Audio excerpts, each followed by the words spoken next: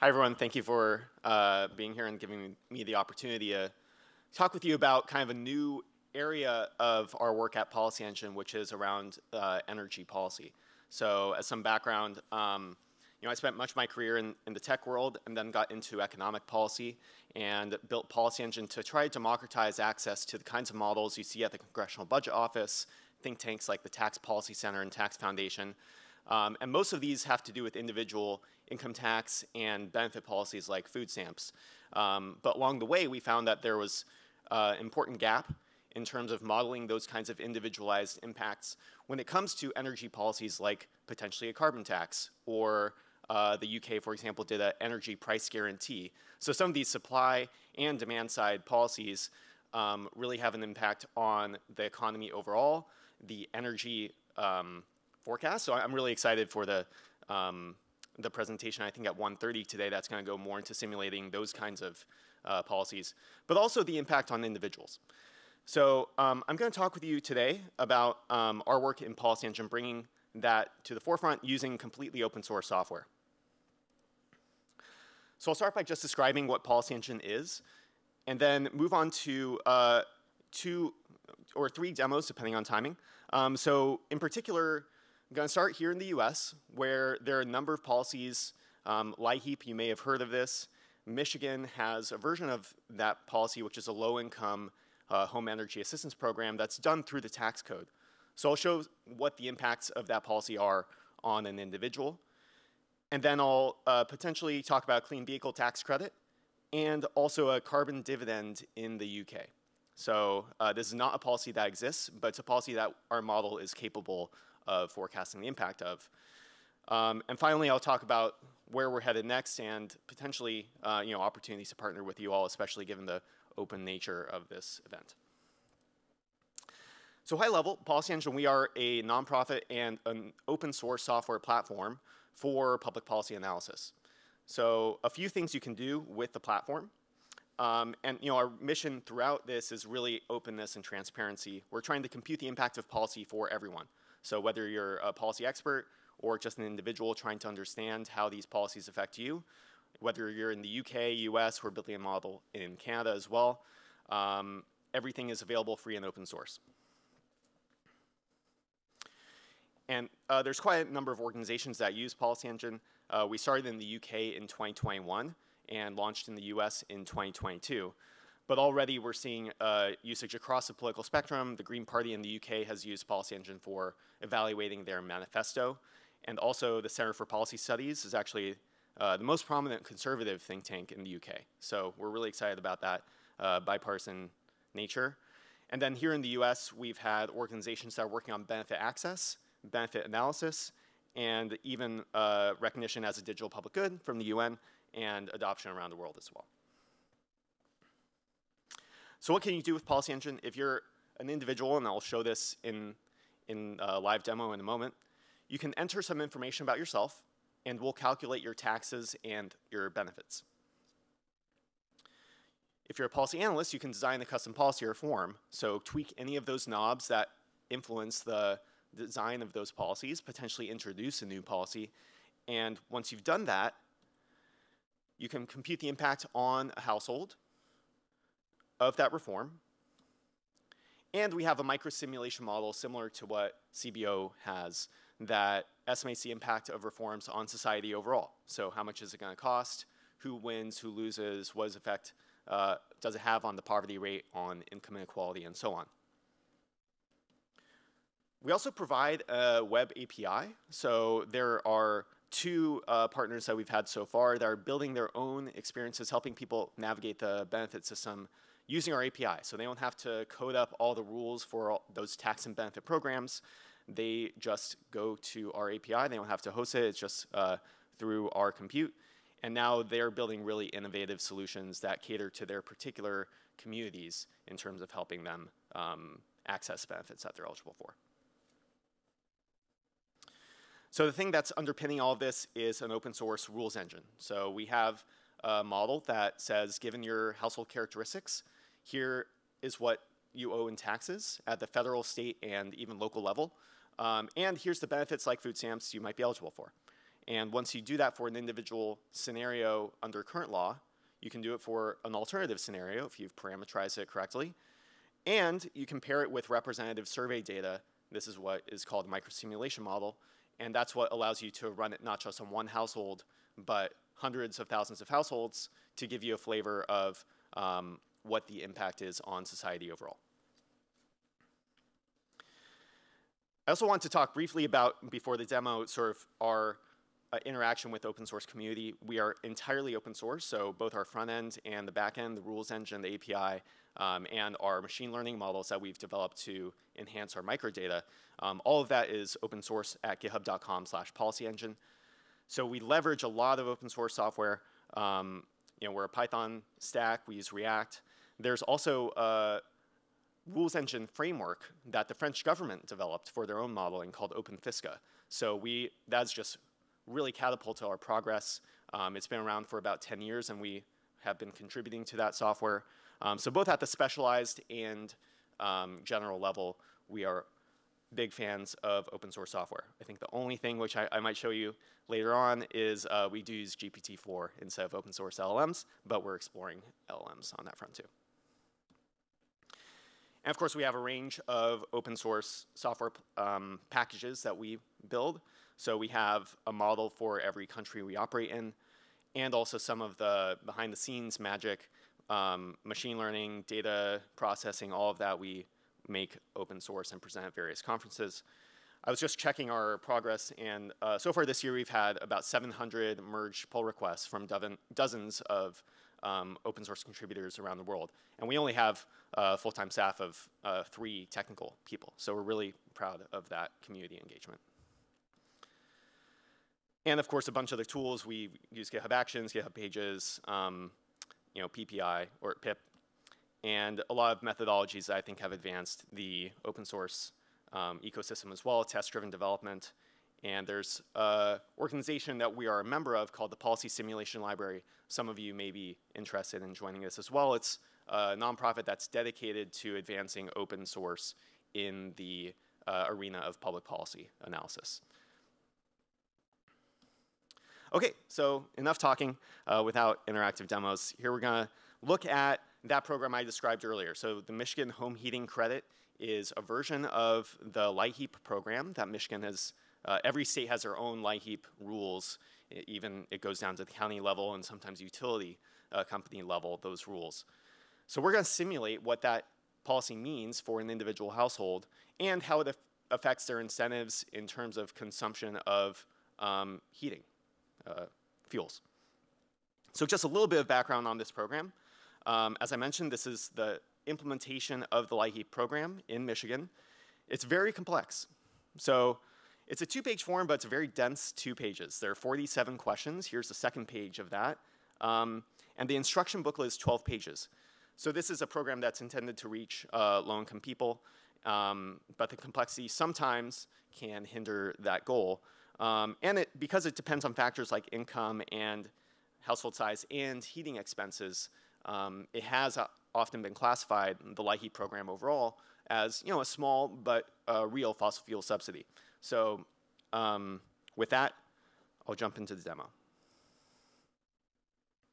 Okay, so from policyengine.org, we have two uh, ways of interacting with the platform. So one is on the household side, and one is on the policy reform side. So if you're trying to just understand what your taxes and benefits are today, you'll start with this top one.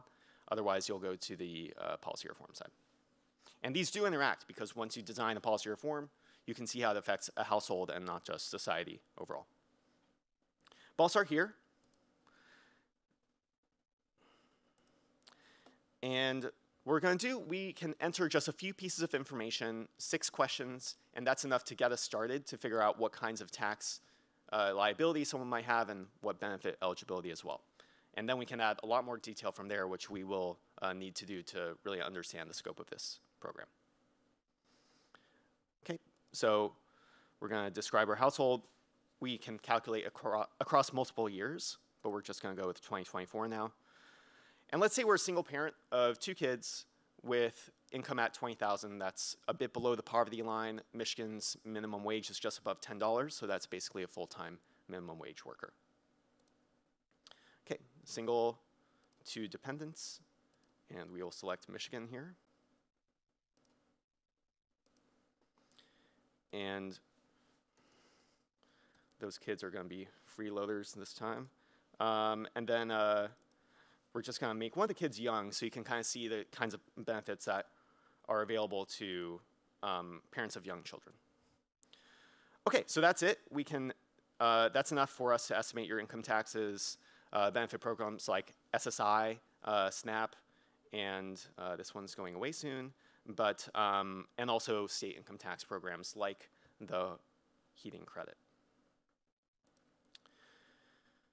Okay, so between those programs, we can say that if you take up all the programs available to you and pay uh, all the taxes you're liable for, your income after taxes and benefits is going to go from 20,000 to about 37,000. And this breaks down between benefits, refundable tax credits, which are tax credits that don't depend on your tax liability. So they're effectively, in the in individual uh, arena, they're effectively benefit programs that are paid through the tax code. And then they owe some taxes as well. We can break this down. So they're going to get a certain amount from SNAP. I should also mention that SNAP actually also depends on your utility expenses. So in some ways, there's sort of a heating um, energy element to the food stamp program, um, not often talked about. But they're also eligible for WIC. So this is a nutrition program for um, parents of young children and pregnant mothers. And uh, free school meals they also receive. Those are, that's a means-tested program. Uh, they get about $12,000 from refundable tax credits. Some of these are federal, uh, the biggest ones are, and then Mich Michigan has their own as well. So there's a EITC, Earned Income Tax Credit, and the child tax credit has been in the news the past couple years. Um, so under current law, they will get about uh, $3,000 from that program. And finally, uh, the thing we're here to talk about is Michigan's, they have an earned income tax credit as well but they get home heating credit. So even though we haven't provided any information about their uh, energy consumption, their heating, um, you actually get a heating credit even if you have zero reported heating expenses. So in this case, they get $144 from the program. And so keep that number in, in your mind because it's about to change. And finally, uh, they do owe payroll taxes and they have some state income taxes. They're below the threshold to owe uh, federal income tax. Okay, so put it all together again, um, $144 from the heating credit, and overall it turns their net income from 20,000 earnings to 37,000. Now we can um, add some more, let's see, let me zoom out a little bit. There we go. Um, and we've got some summary of this on the left side. But we're gonna add uh, one piece of detail here, which is the heating expense. So now you can search for, we have hundreds of different variables to really fine tune the um, information about your household. So I'm just gonna type in heating, heating costs for each person. Um, and let's say they have $3,000 of heating expenses. Michigan's kind of cold. Okay, so that now we are going to see my details and that number bumped up a little bit. So it was, I think, 36.7. Now it's about 37 flat. And if we go here, back to Michigan refundable credits, it bumped up from 144 to 314. So that's a $170 difference. Effectively, divide by 3,000 in expenses. They're basically paying a, getting a 5%, 6% subsidy on their uh, heating expense. So we would expect a program like that to sort of increase the um, amount of expenditure on heating.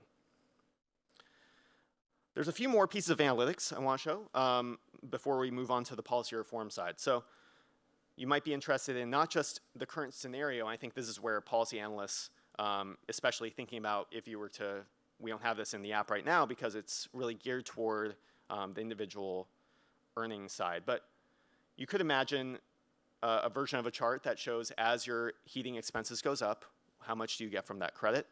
This is a flavor of that for the earnings scenario. So what we're doing is we're varying their earnings, holding everything else constant, and we're saying how's their net income change? So in general, it goes up and to the right.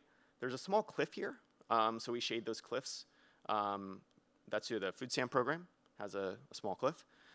And uh, here's sort of where they are right now, 20,000 and 37,000 earnings. But we can look at any individual program here too. So if we're interested in that home heating credit, we can now see, okay, what is the shape of that sort of income testing of the program? So they're getting uh, 314. They could get as much as about 1200 from the program. So that number also is going to uh, depend on your heating expenses, and basically you get at least some of it as long as your earnings are below about 27,000. So we've been really excited. We've been playing around with Streamlit uh, for a bunch of um, sort of prototype tooling. Um, so I think this would be a really fun kind of side project to look at how's the home heating credit and other energy programs depend on your energy expenses, what kind of implicit subsidy rate is it depending on your earnings and other scenarios. So I think that will feed into, in the future, I'll come sort of at the end, talk about our dynamic modeling um, work. And another parallel you can draw here is we show the marginal tax rate. So this is depending on your earnings, how much does the government take either in the form of taxes or withdrawn benefits? And this shape often surprises uh, folks. So in general, uh, low-income people actually have negative marginal tax rates, which means every dollar they earn, they actually get more than a dollar uh, for that earnings. And that's because there's programs like the Earned Income Tax Credit, which subsidize earnings at that low level. Um, but as you sort of go from about 100 to 200% of the poverty line, you tend to see uh, significantly higher marginal tax rates. So, you know, just as context, the top marginal rate in the US is 37%. But if you're going from 30 to you know $40,000 income, you're paying over a 70% marginal tax rate as those programs are starting to phase out. So again, sort of a parallel to this could be the subsidy rate uh, for energy programs.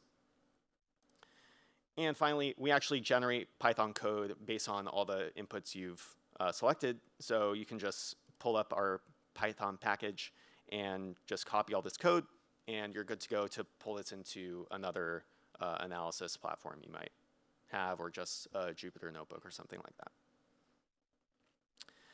Okay, so that is current law. We're going to do two more things here. We're going to design a reform for this program, see how it affects the household, and then I'm going to move on to the carbon tax in the UK across the pond. So we've just been in this top button mode. We're going to go create a reform mode. And now here are all the policy parameters are in our system. We have thousands of them. So at the state, federal, local level, tax side, benefit side, we break these down across the agencies that administer the programs. So um, IRS is our biggest piece of this, but there's a lot going on in the states and uh, HHS, for example, administers the TANF program, so we have some rules in there too. Um, so if we want to change the Michigan home heating credit, we're going to go down to states, and uh, Michigan, tax, income, and credits. So you can sort of see all the different programs we model. Um, so one of the parameters of this, they sort of have, I think there's about 30 or 40 parameters that go into the, um, the calculation of this credit. And after they do that, I think what happened is they probably ran out of money one year. So they just said, once we do that full calculation, we're also going to um, add a multiplier on. So in 2022, they went from 100% to 90%, and then it fell to 56% um, as of 2023. That's the latest that is in the law. So you could imagine what happens if we just change that to 100% starting this year. So now we're updating the rules. So this parameter history, and we have a sort of parallel reality where we're looking at a different version of the law. And it's a little scrunch on the screen, but you can sort of see we've actually got that, um, that parameter provision is here in the left side. You can develop a reform that has as many provisions as you want. So you can really design very rich, detailed uh, reforms. And now we can go back and see how does this affect my household. So we're now running over this um, parallel scenario. And same kind of thing, we'll be able to see how the program depends on your earnings under this new regime, how the marginal tax rates change, and also we'll be able to explore the reform in uh, Python. So we define it in there for future analysis. Okay, so your credit rose to 46 and we can drill in and as expected this is only affecting the home heating credit. So this now becomes a personalized calculator. You can also just, we've got a URL here where you can drop the household ID and now you can just um, share this with anyone after you've designed your form and they plug in their household information and get the result. Cool. Okay, so that is where I will leave the US. I think um, going to move on to the UK. So we have a, because we've been around longer in the UK, our model is a bit more developed there. We actually have a carbon tax in the model. Um, and we've done that by applying some machine learning techniques to bring in information from disparate data sources. So in general, for example, in the US, where um, you have a survey data set, it doesn't usually have consumption information in the same survey data set as the really rich income data that we use for models like these. So what we've done is integrate all those different data sources so that we can get a sense of, for every individual in the economy, what is the consumption of uh, fuel for their home, for their vehicle, was their consumption of manufactured goods and food. All of those things have a different carbon intensity, and we can use that information to estimate the personal impact of a carbon tax. So I sort of ran this before, did some calculation, found that what we can look at is a revenue neutral, sort of uh, fully funded uh, carbon dividend where you're pairing a carbon tax of 100 pounds per ton with an 18 pound per week, uh, basically basic income uh, dividend. So let's see how that looks at policyengine.org slash UK. Um, same kind of thing. We're going to skip over the tax and individual side and just move to the policy reform and here, same kind of thing, uh, organized by departments that um, meant nothing to me before getting into the UK policy modeling world. Um, but just as a couple other examples, so Ofgem is their energy sort of administrator. Um, so they had a program that came out in the pandemic called the price guarantee. And similar to before, that's the, a function of a couple things. One is the price level that they set. Um, so we can sort of look at the trajectory of that parameter and the actual uh, guarantee. So this is basically ensures that people uh, with certain characteristics do not pay above a certain amount in total energy costs. Um, so sort of a implicit also um, energy subsidy. Um, and then they reimburse the energy companies for the cost. But what we're going to do is look at, instead of an existing program, a hypothetical program. And to do that, we go this contributed section. Um, the UBI Center is sort of the organization that sponsored that. So now we can look at a carbon tax, zero, sadly, today. Um, but we can bump up to 100 and shows up there. And now um, the last thing is we're going to just add uh, a flat basic income. So every person in the UK gets 18 pounds per week and now calculate economic impact, you can sort of see we can scroll through the provisions of the reform. And there we go. So because I ran this uh, yesterday, it was instant, saved in our, our cache. Normally it takes about, in the UK, about 20 seconds to run. In the US, it's more like a minute. We have a much more complicated, at every level of government, just way more complicated than the UK. Um, so this is basically budget neutral. You could sort of tweak it to get a little bit closer. But basically, the carbon tax is paying for this full basic income. And we give a summary of the uh, impact of this reform. So lowers poverty by about 12%, and um, benefits about two-thirds of the population, leaves about one-third worse off. And here are all the kind of impacts we can look at. So we could look at more detail on the tax and benefit side. So as you can see, basically in the scheme of the, the actual program, um, essentially budget neutral. It raises about 64 billion per year and spends about 63 billion. And if you have more detail here, you can sort of look by program. But now we have a distributional impact. So um, we're looking at income deciles here. The average impact is on the y-axis. So actually the bottom income decile, which does not always correspond exactly to consumption decile, and that's sort of what the carbon tax is going to be um, levied on, is actually going to be a bit worse off.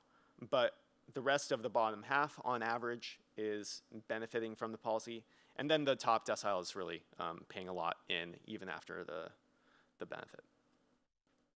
We also break this down by wealth decile. So this is sort of where consumption might be a sort of function of income and wealth.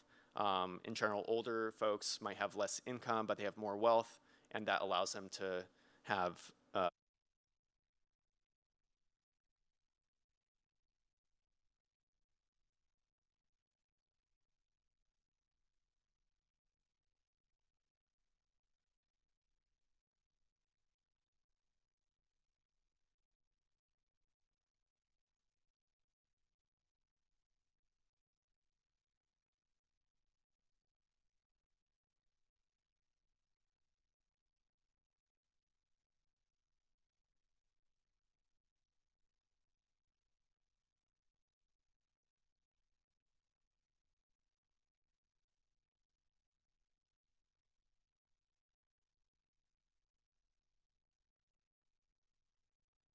got the deciles here in the rows. And the folks in dark blue, those are the ones who are benefiting a lot. So they're gaining at least 5% of their net income as a result of the policy. So even though there's, for example, in the bottom decile, uh, on average they're worse off, um, actually a majority of people come out ahead from the policy. 56% um, are either dark blue or light blue, which means they gain less than 5%. Um, and there, there are some people who are worse off. So, and similarly, kind of the top decile on average is losing uh, over 2,000 pounds a year, but there are some people in the top decile who are actually coming out ahead from the policy. So these are people who have high income but low carbon intense consumption. And then you can look at the, the average here is just 64% um, gain, 38% gain a lot, um, and then the remaining folks uh, come out behind. Same kind of thing when it comes to wealth. Um, and actually here again, um, by wealth, the bottom decile comes out um, better off. Now we can look at the poverty rate and see that overall it reduces poverty by 12%. Again, kind of a nuanced story because poverty is really a, an income-based measure. So senior poverty who are more likely to have um, low income but high wealth and thus high consumption of carbon intense uh, goods and services, their poverty rate actually rises slightly. Deep poverty, this is a share of folks below half the poverty line. And a similarly kind of tricky story. So overall, it actually rises a little bit, um, but it falls for kids. So, you know, we've actually begun one project that is going to um, optimize policies for a certain goal. So you're exploring the space of all these policy parameters. One of those might be sort of ensuring that you don't um, increase deep poverty or something like that. And then we break this down by further categories, um, and we show the income inequality impact. We are about to launch this labor supply impact. So it, you can actually do it today. It's sort of in beta, um, where you can describe your own elasticities and this is where, um, again, we'd just love to apply this to the energy sector to figure out, depending on your assumptions of how the economy responds to these energy policy levers, was the impact on uh, emissions, for example. Um, so I didn't specify any elasticities here, so there's no impact, but you can sort of expect that we're going to have that in there. Um, we actually do reproduce uh, the microsimulation results in our Python package. And the last thing I'll show here is um, we have a AI-powered, this is our GPT-4 analysis product. So what we do is we take all that information that we were sending into those charts, we just take them as JSON, we give um, we give some instructions on how to write a report, and then we have three different modes, explain like I'm five, normal, and wonk mode. I'll go into wonk mode here. And uh, now this is calling the GPT-4 API and just writing a full report on the impact. Um, I think so something might be a little up here. Maybe I'll come back to that, and hopefully we'll be surprised by a, a AI-generated report. But one of the cool things is um, we actually, so it writes a report in real time. You can sort of see the streaming text, and it also we have it include placeholders for the charts. So it sort of fills in those uh, charts. It's like a multimodal um, hack. So that's fun. Okay, um, so while that's going, I'll just mention a couple other policies we're uh, doing in the space. So um, I talked about state tax credits, including those that involve utility expenses. Um, talked about the carbon tax. I showed you the energy price guarantee. So some of those energy policies we uh, we modeled that you show or you saw. We also do model some of these individual tax credits from the IRA. So for example, the clean vehicle uh, credit we did analysis of. And that has some interesting uh, interactions with income, actually, because until this year, it was not refundable, which meant that you had no opportunity to receive a benefit from it if your income was too low to owe taxes. Um, and the extent of your benefit sort of depended on how much taxes you owed. That's now changed in 2024, but there's still an income limit. So if you earn below, I think 75,000 if you're an individual, and there's some other income limits for different filing statuses, it has actually a cliff. Um, so we do model all of those interactions. Uh, the SNAP utility expense deduction, one other um, implicit energy subsidy. And then there's some, uh, we actually have a partner who's using our API for benefit navigation in California, so we've done some additional um, policy modeling there, including the electricity discounts that the state has enacted.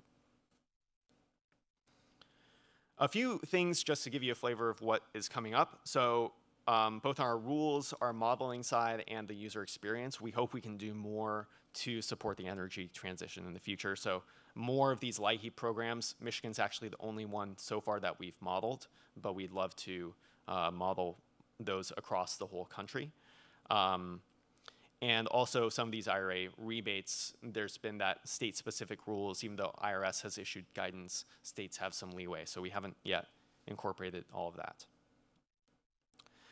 On the modeling side, uh, in the UK, we've integrated those uh, expense data. So uh, how much from consumption data do we think people in our survey um, are spending on different categories that are going to um, affect their eligibility for benefits and tax credits. So we'd like to incorporate that.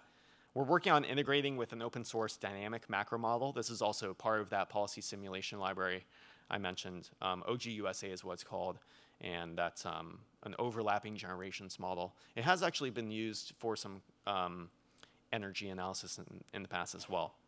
And then we, uh, you know, this would be a pretty new direction for us, but we'd love to explore if we could put some actual energy models in so we can figure out the impact on emissions from, for example, some of these more hidden policy levers that are at the state and federal level.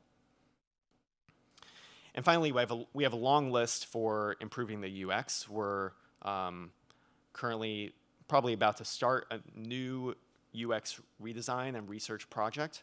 Um, one of the things that comes into effect, especially for the EV credits, there's a lot of different specific questions on this one program. So how much of your batteries are from you know, North America? All those kinds of nuanced questions. We'd like to just have smart design sequence. So if you're interested in that program, we can automatically figure out what questions we want to ask you. But do this scaling across the hundreds of programs we model. And that sort of touches to the mini apps um, idea. And then we're eager to expand the third-party developers, uh, you know, and I think that's been a really successful way for us to get our footprint with people who have the strongest connections to their community. Um, the AI kind of, let's see where this is. Okay, there we go. Um, so we do have this AI tool. I'm sorry you missed the streaming. Um, but here it goes. We were sort of describing the reform. So this is all AI generated. But it's not actually doing the AI. The AI is not doing the policy analysis. It's just pulling out the information from our, um, from our model and doing it that way. Let's see. Okay, so the prompt. Yeah, the prompt's not working. But yeah, there we go. So we'd like to expand this, and actually I'm giving a talk on this next week, um, into an AI-powered chatbot, where you can just ask directly, what would the impact on poverty of a carbon tax set at $20 per ton be? And it runs that through our model, answers the question directly. Uh, this has actually worked fairly well in some early prototypes. Um, and then just you know, making this more accessible to more researchers, having things like R and all that. Um, but overall, we hope that this kind of can contribute to the space. I know we're a little bit outsiders working in the more sort of tax and benefit economic space, but all the kind of policies that happen in the energy space ultimately do affect individuals in positive and negative ways. We hope that our distributional analysis and tying it to the policymaking process in the CBO kind of uh, flavor can really advance the conversation, and we're eager to uh, partner with especially the open source community that we've benefited so much from in the past. So I will leave it there, and looking forward to your questions. Thank you.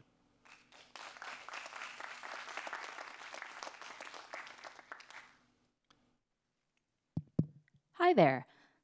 Uh, great presentation. First of all, I want to make sure I heard one thing correctly. Did you guys work on the CARE program out in California? Yes. Interesting. Now, affordability is an issue everywhere, and um, I work in the state of Maryland, and we're starting to look at affordability mechanisms. What did you guys learn from some of the pushback that the state of California received? How would you, if you would do it differently, how would you? Interesting. So we weren't as involved in the design of it. We're, we um, included it in the model so that our API partner can present it to their users. Um, I'll give you one example though. So CARE and FERA are, it's just a pair of programs. One of them is for low income, the other is for like low plus not quite as low income. And it turns out basically nobody actually benefits from the low but not quite low because there are so many interactions with other benefits. So um, you are eligible for the low income version if you're also participating in Medicaid. So that basically makes everyone who would be eligible for the not quite low but uh, still low, um, eligible for, for the low one. I think one of the issues that arises in a lot of these programs are trying to strike a balance between policy sophistication and simplicity is you run into welfare cliffs. So this is certainly the case in California's where if you earn above that amount, you lose the entire benefit. They were trying to phase this out with the, the two tiers, but it ended up sort of not actually operationalizing. Interesting. Thank you. Thanks so much for that awesome talk. Uh, I run a think tank that works on climate and energy uh, at the state level. And so I'm really curious about the underlying data for representing all these programs. Uh, as you very well know, the American welfare state does everything the worst possible way, where we like are just profoundly complicated. Yeah. Uh, I don't know if you were here yesterday, but there's a group called the No Collective that's trying to gather residential electrification incentives, and those will be, have like in New York State that I know best. Every utility has a different flavor. The rules change every year. So how are you going about collecting and maintaining the stuff? And would you be open to doing kind of an open data community around it to maintain it? Absolutely. I mean, this is kind of the core of our architecture. We're proud of the user experience as well, but um, I think the thing that's really changed our ability to develop such a wide scope of programs is our open source ethos. And that's, for example, have folks heard of Democracy Lab ever? It's a platform where people who are interested in figuring or just contributing to the open source uh, projects for good can go and it's their homepage is sorted by the most active uh, projects on GitHub, and so we're usually on sort of the front page. So we just get a ton of people who want to contribute in some way, and because there's so many programs, so much need for updating them, we hope AI can help in the future. But for now, we just have a big team of folks who are going through the legislative language, the benefit program documents, those tax forms, and turning them to, into code. We have a, a strong onboarding process for making sure that they're effective. We have a lot of tests. I think that helps bring on new people uh, safely. Um, and yeah, so I think we would be really glad to figure out how to partner on open data to on yeah for sure.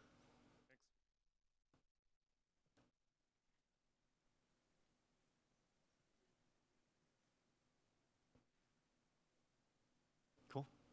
Well, thank you all again. I'll let you get some uh, extra coffee then.